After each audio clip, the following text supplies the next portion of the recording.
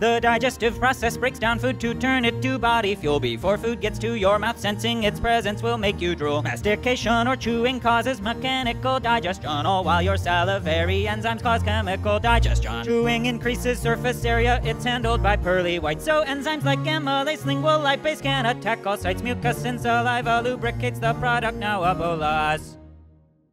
It's swallowed by way of the pharynx into the esophagus. In deglutition's oral phase, food from the tongue's back starts descent. Soft palate rises, tongue rolls back, food into the pharynx is sent. The pharynx phase, the epiglottis closes, and choking it does prevent. The upper esophageal sphincter, the esophagus's door closes once food is received so it doesn't return up once more. The esophageal phase is the final stage of deglutition. The epiglottis now opens, you can resume respiration. The bolus is now moved downward by waves known as peristalsis to the stomach through the LES end of the esophagus.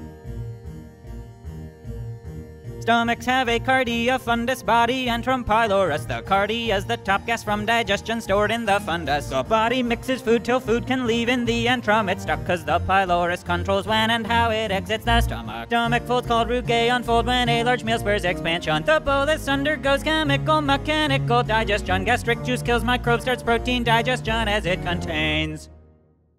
Pepsin and HCl with a pH of 1 to 3 attains. Muscle contractions, peristalsis in the stomach churn content. The result chyme slowly through the pyloric sphincter valve is sent. This sphincter leads to the duodenum which absorbs nutrients present.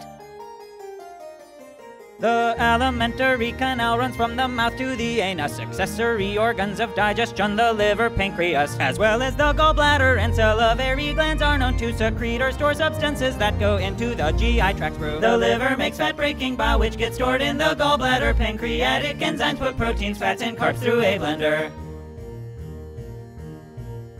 Duodenum, jejunum, ileum, small intestine, parts 3. The duodenum receives bile and pancreatic enzyme C, which releases nutrients to be absorbed in the jejunum. More nutrients are absorbed in the third section, the ileum. The large intestine has the cecum with appendix, then we get ascending, transverse, descending, sigmoid colon, and don't forget the transverse colon has hepatic, splenic flexures, which are bends.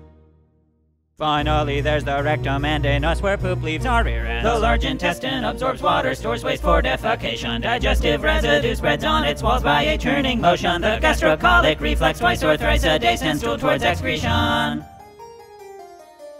The gut microbiome is super crucial digestion support with trillions of microbes that live here and for duty report. Foods you eat have a major impact on your microbiome health. Sometimes needed antibiotics and gut microbes to their death. Besides aiding digestion, the microbiome helps immune cells impact your mental health and at producing gas for fart sick cells.